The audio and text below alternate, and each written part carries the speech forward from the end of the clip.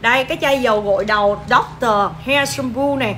Cả nhà mình gội à, gội nó rất là mượt luôn. Cả nhà mình không cần xài dầu xả cũng được. Nhưng nếu như ai mà đã là một cái thói quen thói quen xài dầu xả rồi á thì các chị em mình nên xả dưới đuôi tóc thôi.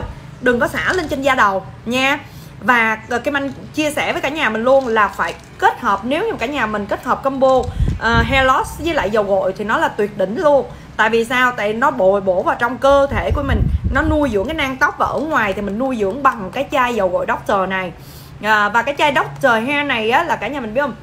Khi mà mình gội á cho Anh chia sẻ luôn nha cả nhà mình gội liên tục 10 ngày cho Kim Anh. Tại vì nó là một cái dòng doctor nó khác với dầu gội bình thường là hai ngày mình gội một lần mà là cái dòng doctor này 10 ngày đầu tiên các chị em mình phải gội liên tục dùm Kim Anh không ngừng. Nhớ dùm Kim Anh nha nếu ai mà đang bị rụng tóc quá nhiều nè ai mà bị ngứa nè hay là bị uh, bị bị nói chung là bị cảm thấy bị rụng tóc nhiều á thì các chị em mình phải sử dụng cái này. Và nhớ dùng cái Anh là 10 ngày đầu tiên là phải sử dụng liên tục không ngừng.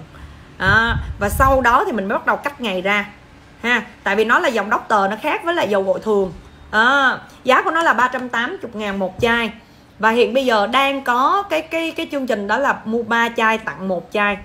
À, nhớ nha cả nhà mình nha. Và nhớ dùm kem Anh nếu mà muốn tóc mình chắc khỏe và nó mọc nhiều thì cả nhà mình nên sử dụng hair loss à, viên uống à, ngăn ngừa rụng tóc và chai dầu gội đầu doctor này của Kim Anh. Đây là hai bộ đôi mà Kim Anh lúc nào cũng phải có.